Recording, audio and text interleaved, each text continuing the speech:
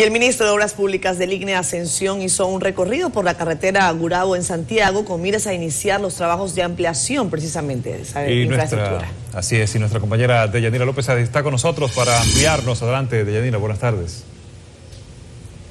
Hola, ¿qué tal compañeros? Muy buenas tardes. Así es, el ministro de Obras Públicas y Comunicaciones hizo un recorrido desde, desde la carretera turística hasta la Gregorio Luperón con Estrella Sadalá, una vía que será ampliada a cuatro carriles, como lo anunciara el presidente Luis Abinader durante su visita el fin de semana. El proyecto ha generado múltiples expectativas, pues vendría a representar una solución al tema de la congestión y taponamiento en el tránsito y por ende será de mayor beneficio para el desarrollo de la zona.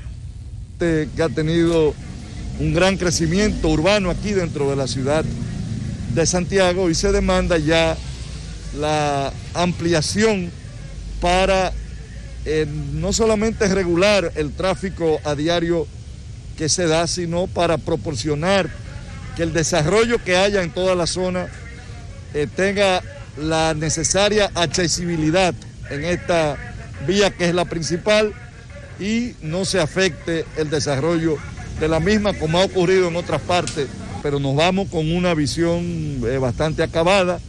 A los fines de traducir esto ya en eh, planos y diseños que permitan una pronta intervención en la vía. Estaremos eh, ya en poco tiempo, esperamos, anunciando el inicio de estos trabajos. La intervención sería eh, con un diseño de unos 3.3 por carriles de ancho, estamos hablando de cuatro carriles, con paseo, con hacer y contener en las áreas donde lo llevan.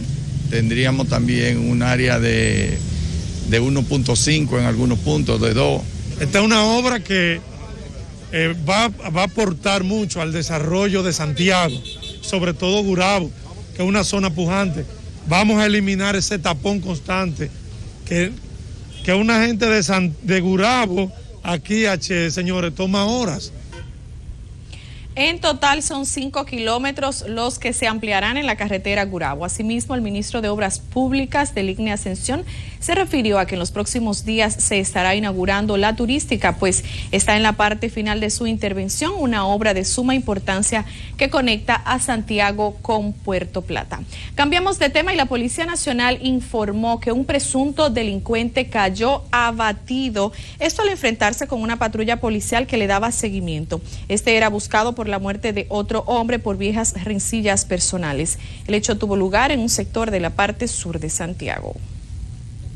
Hubo momentos en que el hoyo Oxiso transitaba a bordo de una motocicleta cuando agentes de la acción rápida mandaron a detenerlo y este no se detuvo, sacando un arma de fuego tipo pistola marca Browning, serie número 303223, que portaba sin ningún documento emprendiéndola a tiro contra los mismos, repeliendo estos, la patrulla policial, dicha agresión, resultando con heridas de bala que posteriormente le produjeron la muerte el Oxiso respondía al nombre de David José Marte Rodríguez, alias el menor de 28 años. Su cadáver fue trasladado al Instituto Nacional de Ciencias Forenses, INACIF, para los fines correspondientes. Y ahora vamos a Puerto Plata, donde un médico falleció alegadamente de COVID-19.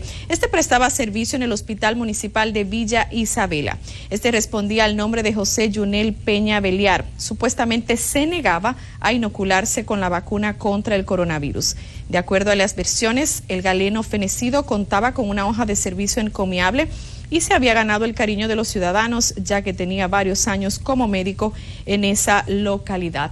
Y regresamos a Santiago y es que en las instalaciones de la Defensa Civil de esta ciudad se lleva a cabo un operativo de pruebas PCR y de antígenos para detectar el COVID-19. La información fue ofrecida por el doctor Luis Miguel Torres, médico encargado prehospitalario de la Defensa Civil. Realizando las pruebas de antígeno, las cuales tienen una duración de entrega de una a dos horas, se le envía vía WhatsApp para así poder agilizar el proceso a todos los ciudadanos que requieren de este servicio. También se están realizando las pruebas PCR, las cuales tienen una duración de entrega entre tres a cinco días también se le envían por WhatsApp. Todo esto para facilitar que la persona no tenga que aglomerarse en este espacio y así poder evitar el contagio de aquellas personas que salen positivas con las que están negativas.